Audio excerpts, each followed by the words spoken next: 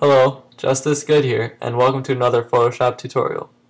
In this tutorial, I'm going to show you how to selectively use motion blur to add motion to your photos. So first thing you want to do is right-click, duplicate your layer. And on this new layer, go to Layer, Layer Mask, Hide All. Now let's forget about this layer for a second and go back to our original layer. On this, go to Filter, Blur, Motion Blur. Now here, remember, you can adjust the angle and the distance however you like, depending on which way your object is moving. Of course, mine is simply moving directly horizontal at an angle of zero, so I'm going to leave it at that. You can also create a large distance for a large blur or a smaller distance. You don't want to create too much of a blur, so I'm just going to stick with something around 30 for this up close image.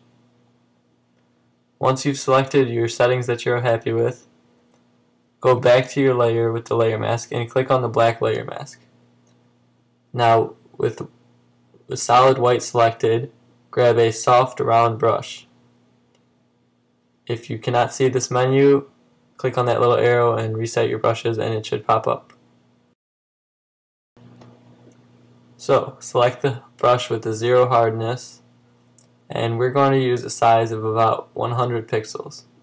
Depending on your object you can adjust it. If your object has lots of small little limbs then make the brush smaller.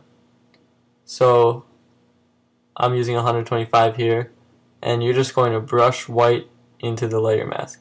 This is going to reveal the original image, which wasn't blurred. So continue on all the way throughout your image. Now once it gets down to some of these smaller body parts like his legs that are separated, I can go ahead and choose a smaller brush and work with it there. And a shortcut you can use is the bracket key. The left bracket will automatically decrease your brush size and the right bracket will increase it again. So that's what I'm using here so I don't have to go to the menu. Just tap the bracket key a few times and get the details. Remember you can be as detailed as you want here. The more detailed, the better the image. Sometimes you can get away with a quick soft erase. But once you're happy with this, that's pretty much your final image and you can continue editing it whatever way you like, but you have successfully added motion. A little trick you can do is Command I on the layer mask and invert it. That's just a different effect. Um, now we have the foreground blurred. But if you want to keep it how it was, just invert it again with Command I, and there's your final result. If you like this tutorial, please check out my channel for more, and please subscribe for future tutorials. Thank you.